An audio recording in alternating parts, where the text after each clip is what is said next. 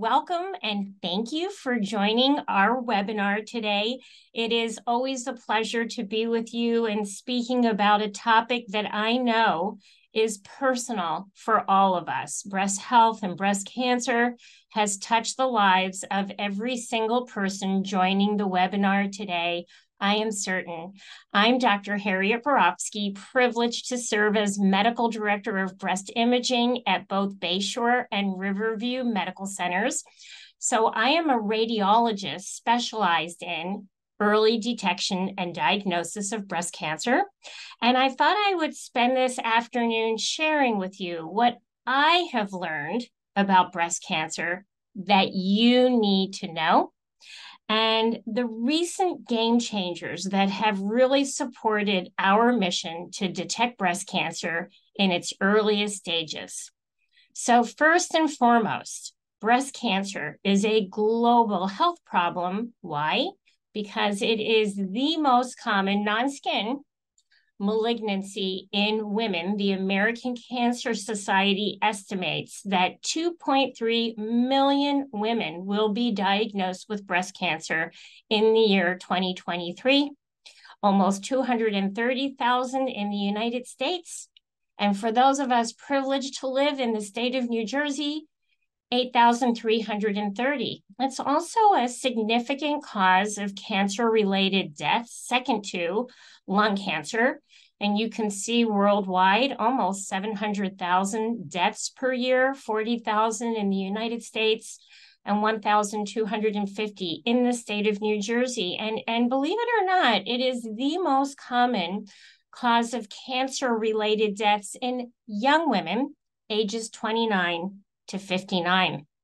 And this is from the American Cancer Society, just to point out, these are their breast cancer estimates for 2023 breast cancer actually surpasses prostate cancer as being the most common cancer, and it is second beneath lung cancer as the leading cause of cancer related deaths.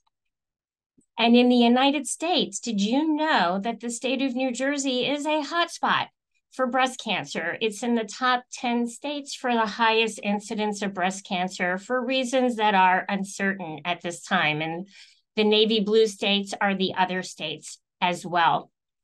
Breast cancer incidence and mortality um, is in this bar graph here, which is from the American Cancer Society. And it's a reminder of me to share with you that while white women have the highest incidence, greatest number of breast cancer, Black women have the highest death rate of breast cancer.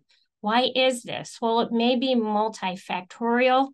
Um, and you can see in this graph um, comparing white women, Black women, and other races and ethnicities that um, in white women, 68% of the time, breast cancer is localized, while that number dips down to 50 57% in Black women with more advanced cancers. And I will share with you that Black women tend to have more aggressive tumors diagnosed at later stages and have a higher incidence of genetically predisposed. In other words, Black women and also Ashkenazi Jewish women have a greater incidence of certain mutations that they inherit that may predispose them to breast cancer.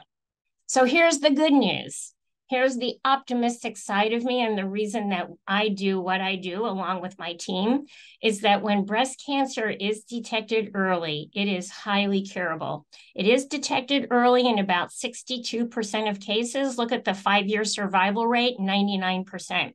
When it is more advanced and, in fact, distant, that means metastatic breast cancer, the five year survival rate drops down to 27%.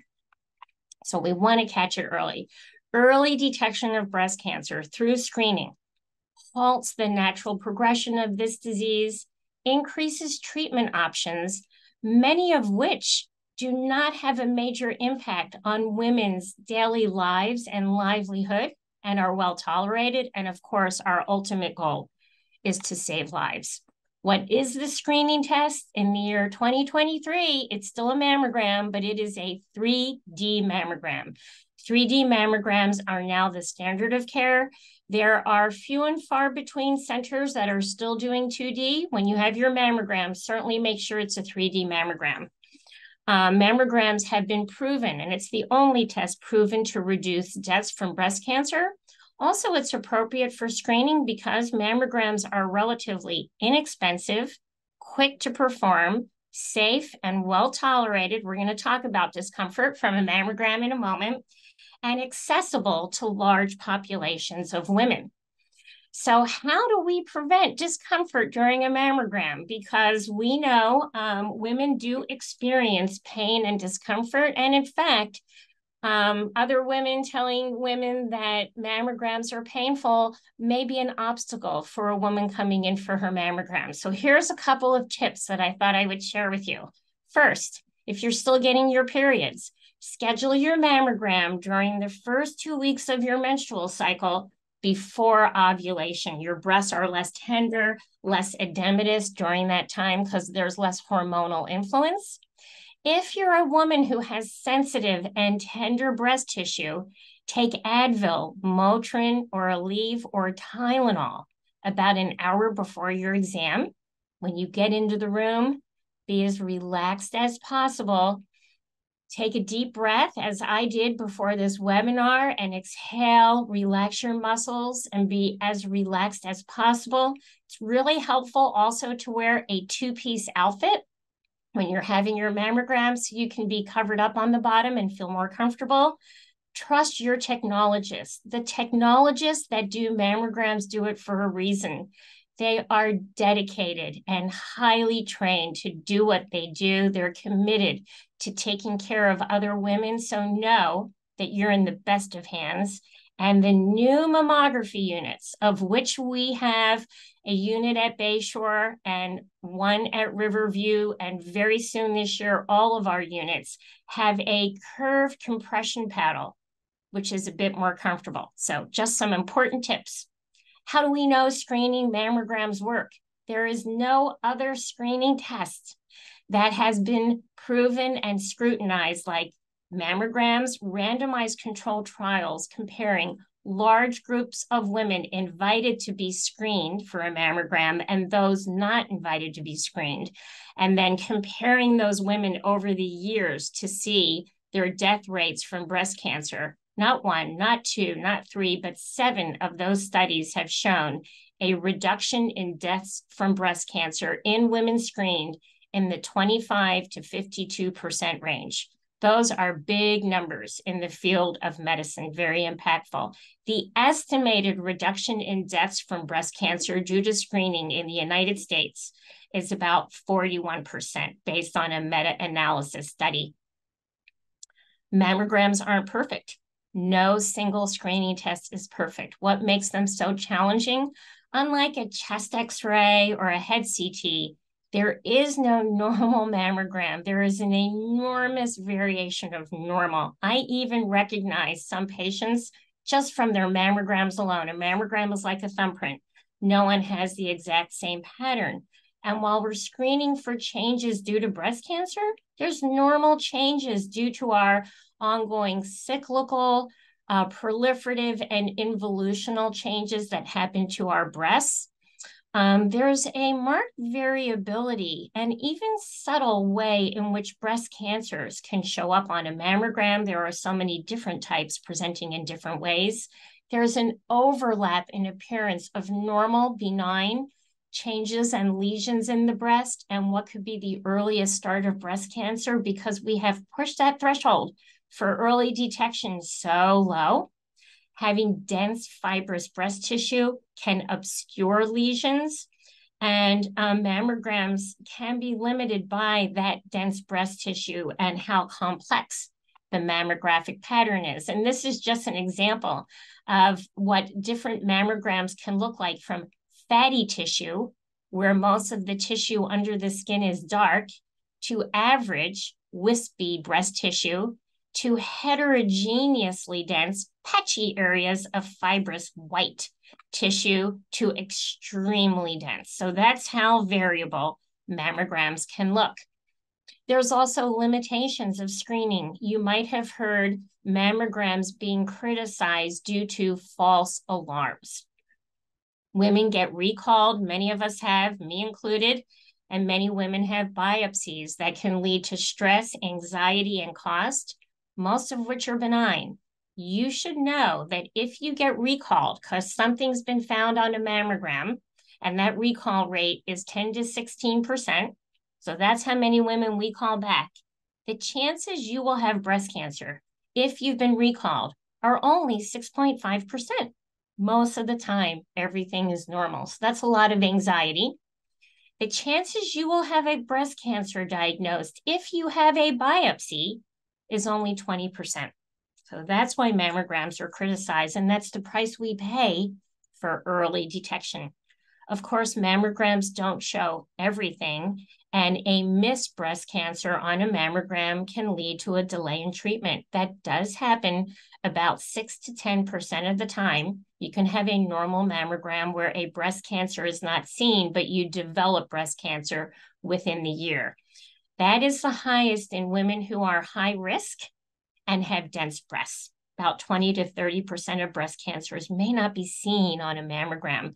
And these cancers tend to be the most aggressive.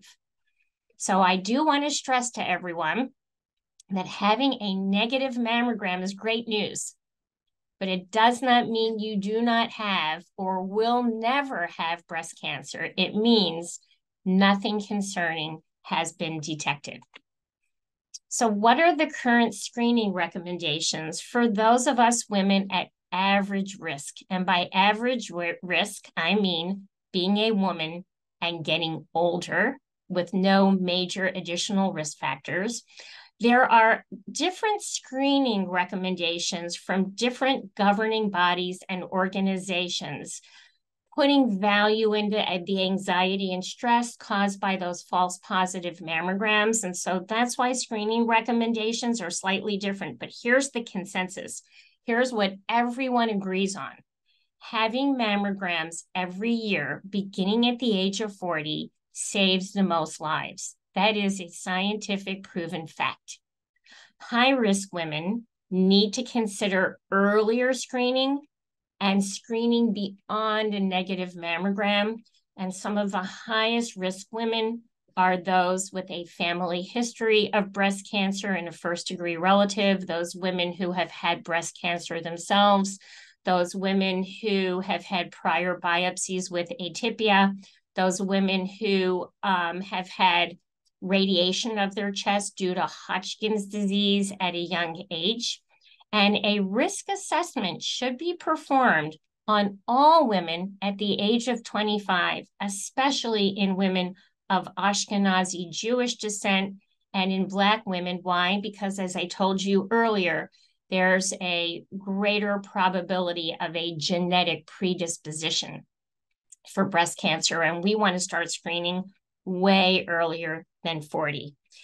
The American College of Radiology, the National Comprehensive Cancer Network, the American Society of, of Breast Disease, ACOG, American College of OBGYN, all recommend annual screenings starting at age 40.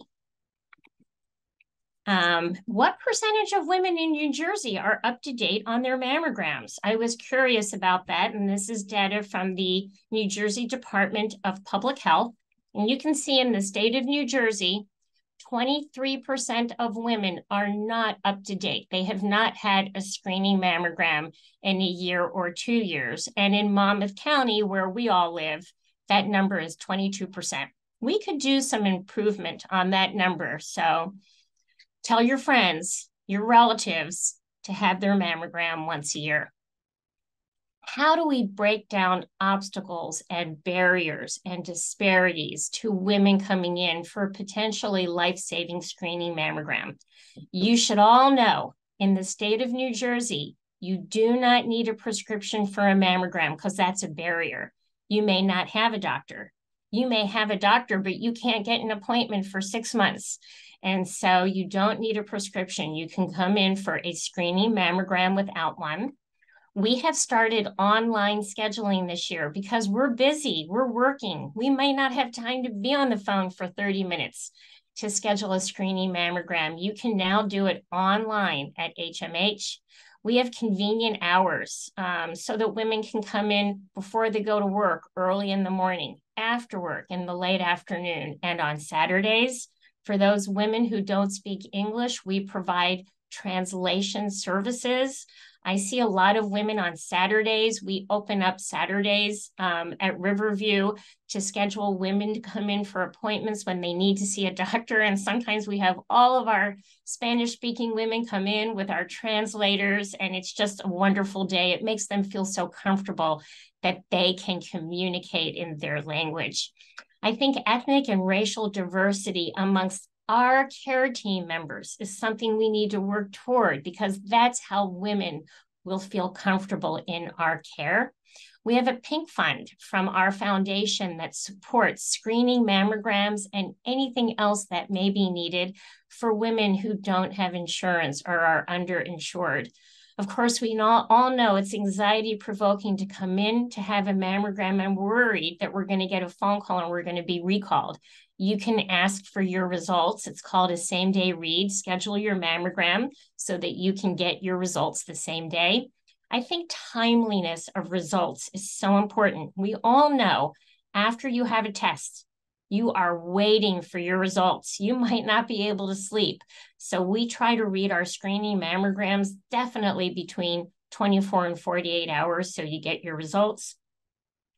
And we now allow you to schedule your next appointment on your way out the door. So you've already got that on your calendar way in advance. I thought I would share with you something that we've recently launched. We've launched online scheduling, but also we are now using our EPIC, our electronic health record, to identify screening age women who need to schedule their screening mammograms and those women who are due for their mammograms. They're getting text messages with a link to our website so that they can schedule a mammogram. I got my text message last week and I scheduled my mammogram. And you can see that when we launched that it's called a care gap closure campaign leveraging Epic. We had a peak in the women that called to schedule their screening mammogram. So, ways in which we are breaking down barriers. I thought I would share with you also the latest advances in technologies for screening for breast cancer that are having the most important impact. And that's going to be the next generation of 3D mammograms. I'm sure you've all heard of AI, artificial intelligence. It's everywhere. It's also here in the screening world. We are using AI to help us doctors do a better job detecting breast cancer. And we're going to be launching risk reporting. So, as I said, 3D mammograms are now the standard of care. Why? They're just a better mammogram at the same radiation dose. We are able to look at the breast. I have a little toggle button at one millimeter thin cuts. It really improves upon the major limitation of mammograms, overlapping tissue, which may obscure important findings or cause us to call back women unnecessarily. And it's really remarkable. I, I would have to say, in my medical career, the 3D mammogram will be the number one most important and most impactful technology that I will see. Why? It's led to 15 to 53% increase in our breast cancer detection rate and 15 to 37% decrease in our recall rate. Really remarkable um, technology. The next generation is here. We've got units at Riverview and Bayshore. And as I said, all of our units will be, re- be replaced to this latest technology. Very few centers have this next generation 3D mammography. It's higher resolution, higher contrast images. It's a more comfortable exam because of the curved paddle. And we've got the AI for computer aided detection. So I have to admit, I'm a human being. I'm the doctor reading many of your mammograms along with my colleagues. I am distracted. I get tired. I may miss things. Computers don't get tired. AI is a way of leveraging computers, technology, deep learning to do a very high level second read marking things that the computer detects is abnormal, we think it's going to have a really significant positive impact on our outcomes. So we're using that now. There's a new technology we launched at Riverview Medical Center, contrast enhanced mammography.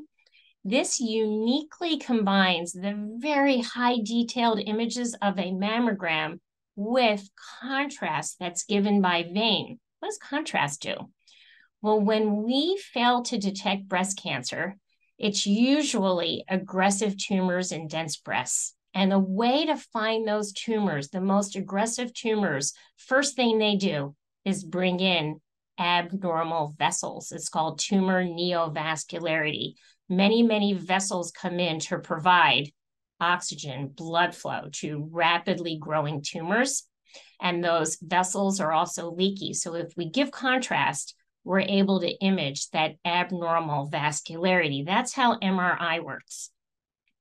So contrast enhanced mammography is an alternative to MRI. Not everyone can have an MRI at a much lower imaging cost and shorter image time.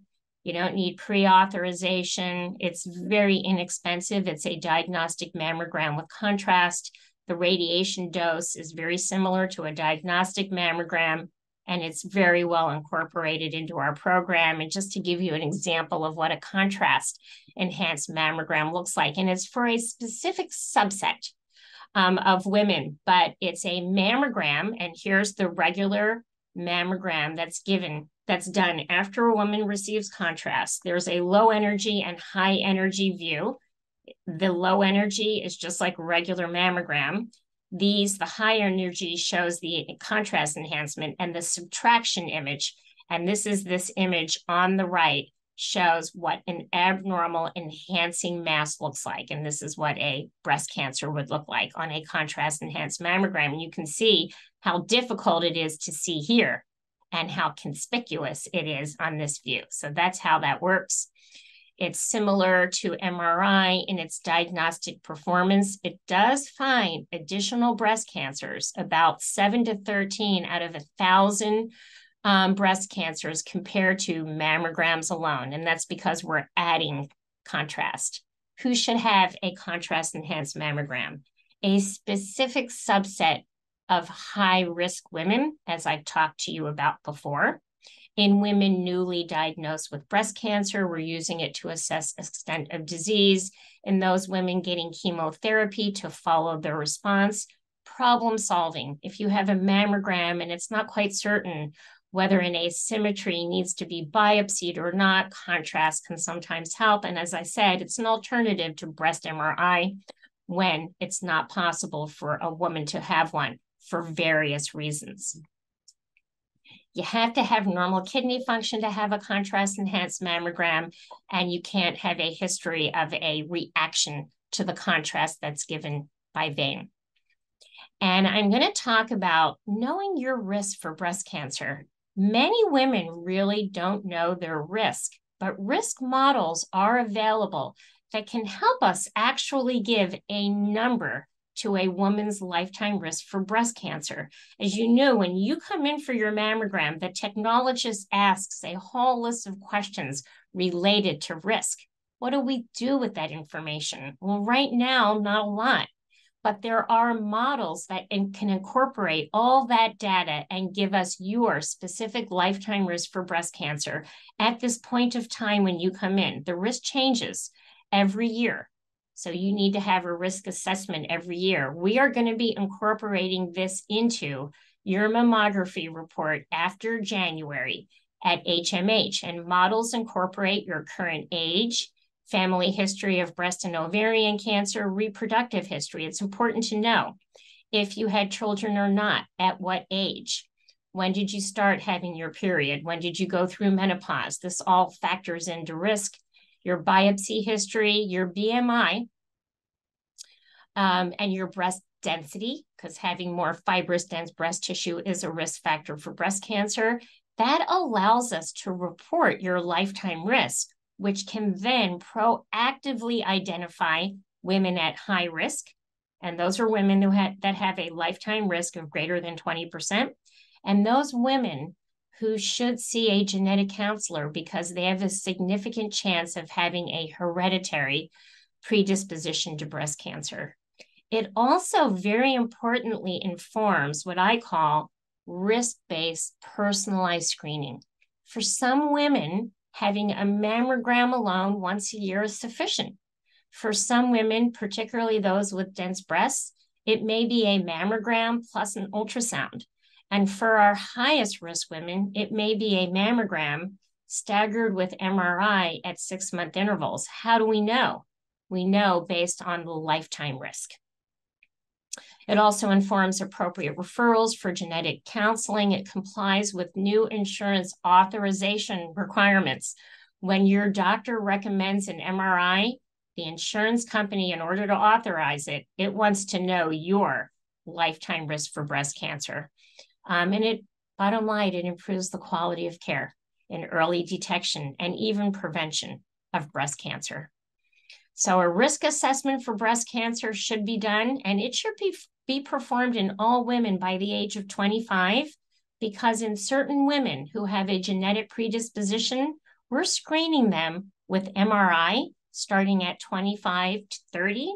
And at 30, we start doing mammograms and then we stagger MRIs with mammograms. So you got to know your risk.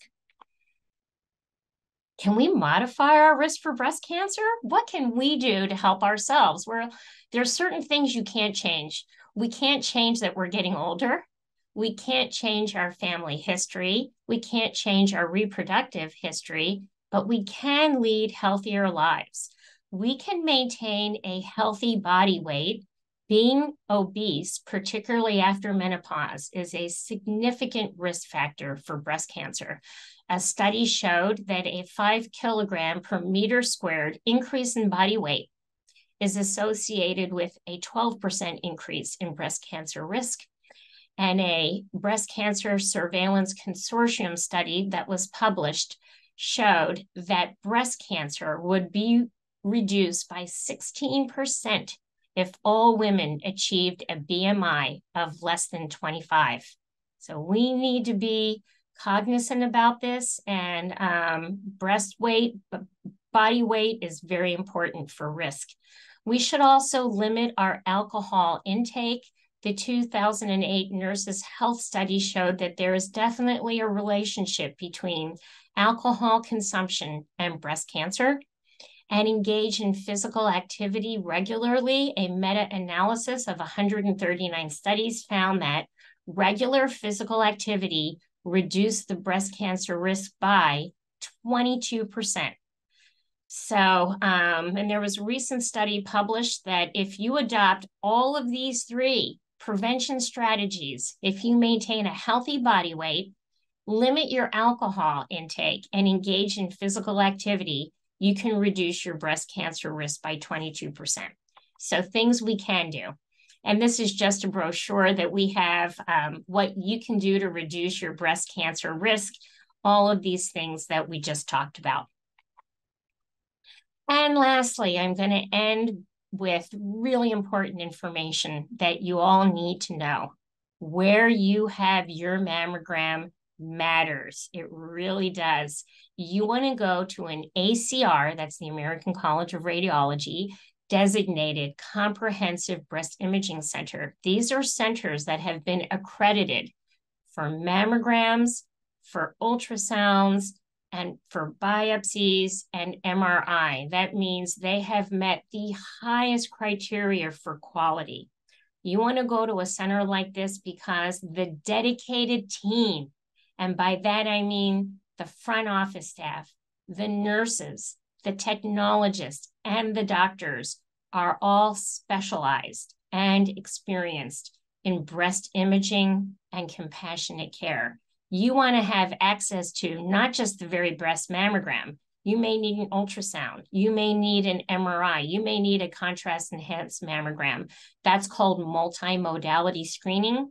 If you need to have a biopsy, these centers do minimally invasive breast biopsies and have access to a team of specialized physicians. If you are diagnosed with something precancerous or cancerous, we've got a wonderful team of genetic counselors, breast surgeons, radiation oncologists, oncologists, and um, nurse navigators, and very importantly, and not to be underestimated, continuity of care. It's really important. Thank you very much.